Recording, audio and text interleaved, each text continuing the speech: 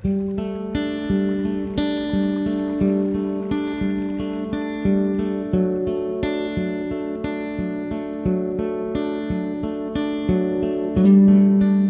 fly is basically just a sedge hog and uh, tied on a curved hook. Now, the hopper versions are extremely popular. I'll show you the ones that I. These are these are four. The early season ones that I, I.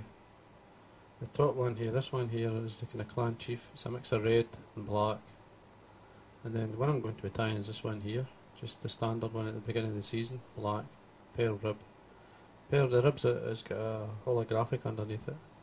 Same same rib but olive, which is a great pattern. And again, times when the lights for the rainbows, times that like the the chartreuse in black, which again is a, a great pattern to tie. Now, the hook I like to use is the Fulling Mill Super Grub. In this case, it's a size 10. You tie these right down, tie them as small, or even a size bigger if you wish. But size 10 down anyway. Thread I'm using is a Uni Black, an 8.0. And all I'm going to do is run the thread down, stop it, line with the point of the hook, and then bring the thread back up, and stop it maybe about a mil, mil and a half from the eye. Now I've got some belly uh, deer here, dyed black. From the belly area, it's, just, it's most hollow, it's got really, fibres are hollow and uh, much better for this type of fly. Now I'm going to stack it. Just put it in tip first into the stacker. Tap it on your desk and that should line up tips, points and remove it. Now, the length of the hair, you're looking for at least the length of the hook from the eye to the back, tied forward. This is the style that I tied when I was a fishery manager many years ago, in the early 90s, and it was a quick way to actually tie a sedge hog. And the basic size we used to was size sort of like well, it was equivalent to a 16, but it was a B160, size 16. Just tied deer hair forward, pulled it back, had a wide gape, and then you put the legs on it. So easy to tie and quick. That was the idea behind it. Now I've got a medium pearl tinsel, and this is the Uni one, number 14. Just catch that on the side, and catch it on the way down. And then we've got the Veniard one. This is the Veniard red holographic in medium. It's a proper red. They do a small, medium and a large.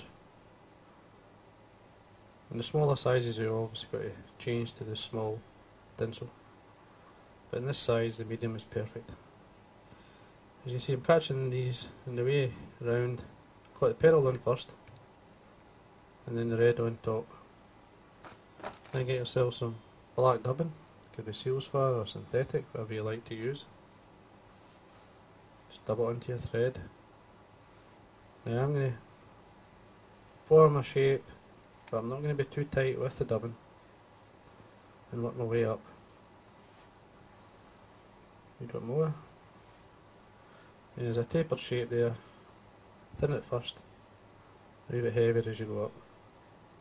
I'm not putting it on tight, meaning I'm not screwing or twisting the the, the dubbin so tight that it nothing penetrate it or do anything to it. Meaning, when I wind the rib up through, I want it to sink into the dubbin and touch the hook mainly, so that there's less room for the fish, fish's teeth to get in behind the, uh, the rib and tear it off. Uh, your fly will last much longer if you do that. Now I'm going to wind both together. Now the pearls on top and the red underneath. Just wind it up this is, don't mind if a tiny bit of the red shows through at the bottom or even at the top. Tie it down. And if you're looking for a good buzzer body, just change the, well, the thorax area, just make it into a buzzer. That's the rib you want. It's a great rib. You could protect it by fine wire if you feel it's not lasting too long. But I don't mind it like that. It lasts long enough, as long as you don't use your forceps on the fly when you're removing fly from the fish's mouth. the fly will last a lot longer. Now, Velcro this the fur out in between the rib turns. Now, I don't know if you can see that, but see how the colour just changes up. I mean, it's excellent for flies. I mean, especially the beginning of the season and onwards. I mean, it'll catch all the way right through the whole season, dyed in different sizes. But that's the body to have. That's the body you're looking for. Then, tiny bit more dubbing onto your thread. Slide it up. One to start. And then this is the time method I developed more than anything was to pull back, push, pull back these fibres as you work your way up. Come to the very last one, just get the dubbing in front. That's really all you need to do. And then you bring the fur up into the, the hair, into the, the deer hair.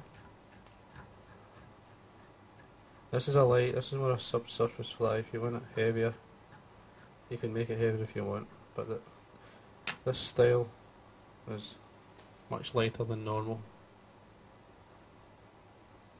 Once you're finished with that, now you get you can either mix it the this is pre pre knotted pheasant tail fibres, which should save you a lot of time. You get I'll get red here and I'll get black. You can mix them or have them just black, just and dial up to yourself. Now I'm going to use four of the red and four black. Just bring them 90 degrees from the stem of your feather. This will line the ends up for you. Now what I'm going to do is just mix these fibres, just line them up. And you want them obviously an even split, two red, two black either side.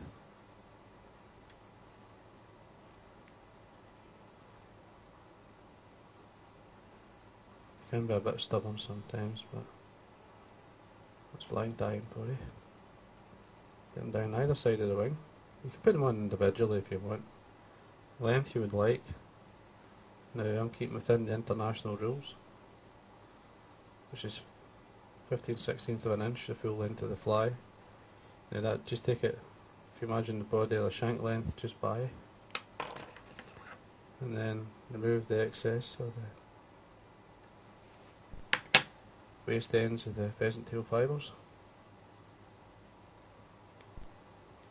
Tidy up. Tiny bit of wax on.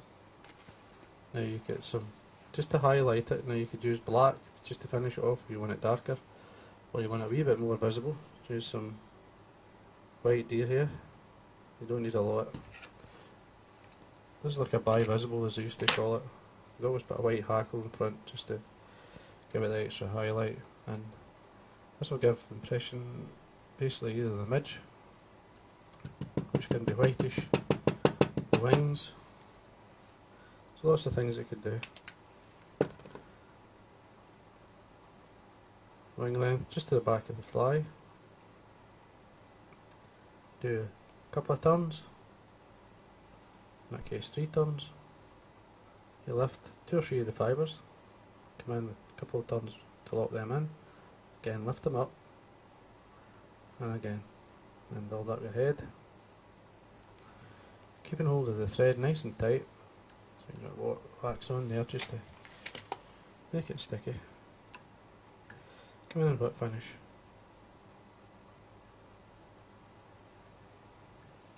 And there we are. Right, take that away.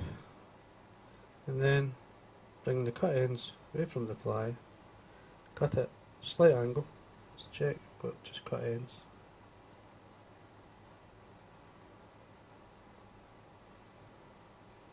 Cut it as an, like an angle, maybe 2 mil or so from the eye, and then trim. That just gives a wee bit more disturbance. This is more a subsurface fly, it's fly more for, just in the surface form. You can gink it up, or in my case I like to use Mucilin, I don't like gink. Get it close to the surface. Depending on what you're using. It's a medium wire hook, the Super Grub, so it'll sit nice for you. Then all we have to do is come in with some varnish. all the way around. Too much on, come in with your needle, take the excess away, clean the eye out, and there you are. And that there is your hopper. Now the colour of the body, if you just twist you see it changes and suits the light. That's perfect, that's what you're looking for. Makes for a great fly. There's the olive, it's the same body, it's the same rib, it's on the olive one, sorry. You can see how it just changes as well. Uh, the other two, red and yellow holographic in this one. One which is tied, the olive, as I said, just change the colour to suit. Same ribbon on that one. On this one here, chartreuse and the pearl. Holographic, it's chartreuse uh, holographic. Then uh, the chartreuse, D here in front. Change the thread colour to the chartreuse. Then there's the oranges and naturals which go on and on. We've got, here's the ear version which is a great pattern as well. Anyway, that's your black, black and red, hog hopper. Hope you enjoyed that. This is fly certainly worth a place in anyone's fly box.